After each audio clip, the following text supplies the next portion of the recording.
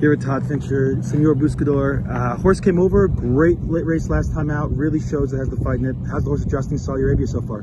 Looks great. We just watched him gallop. He went very strong, hitting the ground great.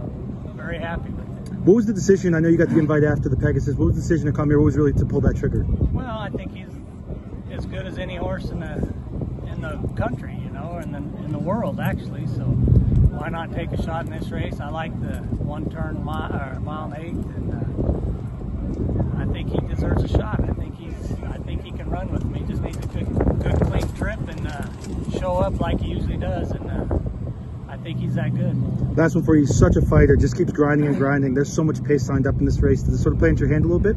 You know, a lot of times when people say there's so much pace signed up, a lot of people, you know, they all have the same idea to try to take back, and it ends up being slower than you think. So you never know until the gates open. Best of luck. Thank you.